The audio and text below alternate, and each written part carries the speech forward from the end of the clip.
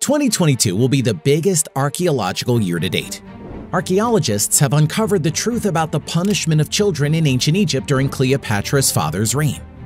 And was the ancient Ecuadorian tribe responsible for the first discovery of the solar system? Here are five upcoming digs that will revolutionize the way we understand history. Antiochia ad Cragum, Roman pirates infiltrate. When most people think of pirates, they imagine figures both fictional and real like Captain Jack Sparrow and Blackbeard. Basically, they think of swashbucklers scouring the Caribbean Sea in the 17th and 18th centuries. But piracy is far older than this.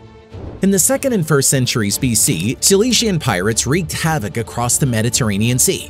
Their harbors in Cilicia, which spans along southern Turkey, offered perfect natural protection from aggressive powers in the region. In fact, for a number of years, these pirates were not just free to maraud and plunder.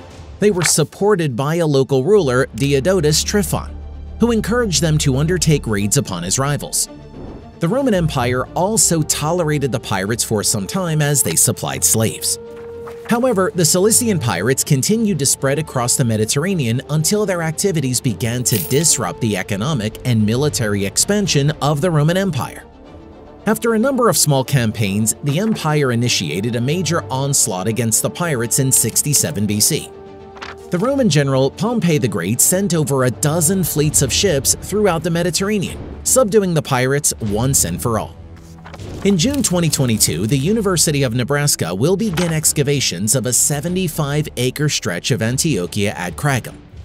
Researchers believe that this area to have been a haven for the Cilician pirates, the area could shed light on how the pirate communities operated, and it seems certain that the dig will uncover something incredible.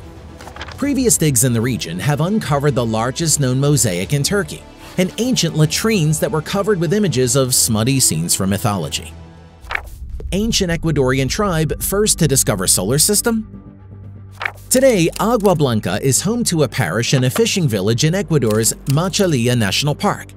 But thousands of years ago, it was home to a thriving community of people called the Manteno. Many stunning finds have come from this area such as temples, pottery, and skeletons wearing fine jewelry. But most interestingly, archaeologists have identified an area that stretches two and a half square miles that contains over 600 earth platforms and walls made of stone. These stand from 1 to 2 meters in height. They appear to be related in some way to a number of other features on surrounding hilltops. The archaeologists also suspect that something about them aligns with astronomical and solar patterns. Even if these structures remain mysterious, more information is likely to come regarding the Manteno people's religion and relationships with other communities in the area. This is sure to increase our understanding of how people lived in South America before the time of European discovery. Warrior casts out demons in the year 699 AD, a warrior-turned-monk named Guthlac chose to live the life of a hermit on a small island called Croyland. The course of his hermitage was anything but mundane. The biography, The Life of Guthlac, states that demons often visited, spoke with and tortured the hermit. Later in his life, Guthlac was said to have performed an exorcism on a man named Ekka. And finally, Guthlac provided sanctuary to an exiled king, Ethelbald. After he died, Guthlac supposedly appeared in a vision to Ethelbald, predicting that the exiled man would once more become king of Mercia, which is nowadays in the middle of England. This prediction proved true. These are just some of the rumors that surround St. Guthlac. But in 2021, archaeologists discovered that the site of St. Guthlac's hermitage was more complex than previously known. The island, which is now in the middle of dry land, had been previously occupied for an extensive amount of time. In fact, the archaeologists uncovered material dating back to the prehistoric era. And then they discovered the wall of a previously unrecorded building, which appears to be a Saxon church constructed out of reused Roman material. The next excavation of Guthlac's hermitage takes place in September and is sure to unearth more about his mysterious life and those that were there before him. Scientists reveal truth about Athribis of ancient Egypt. In early 2022, researchers discovered a huge trove of information relating to everyday life in Athribis, a city in ancient Egypt. Over 18,000 pieces of pottery shards called ostraca, which were inscribed with writing and other information, came to light. These ostraka were written over a wide span of time from many different sources, but the vast majority of them are written in a language that was used when Pharaoh Ptolemy XII ruled, between 81 to 51 BC. For context, Ptolemy XII's daughter was Cleopatra, a much more famous pharaoh by today's standards. These shards are basically the equivalent of pages torn from notepads, because pottery was used as a cheaper writing material than papyrus in ancient Egypt.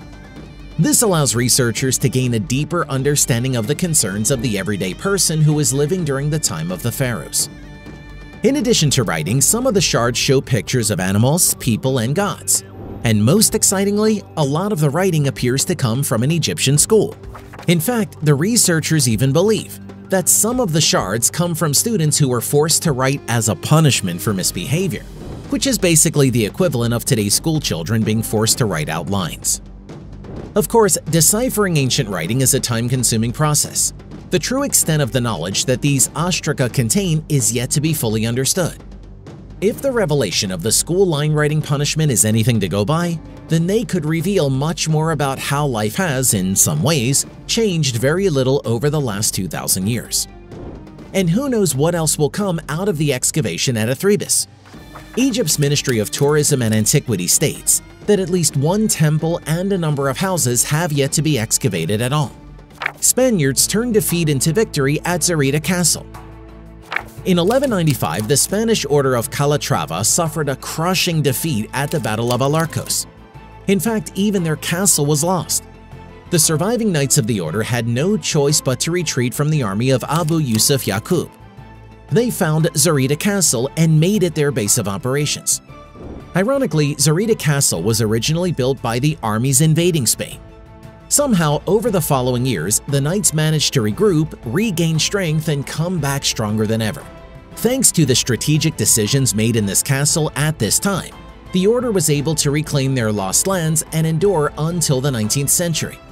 And this is just one of the many stories that took place within Zorita Castle. Its location alongside what was once one of only three bridges crossing Spain's largest river, the Tagus, meant that the castle was a hub for the many people traveling through medieval Spain.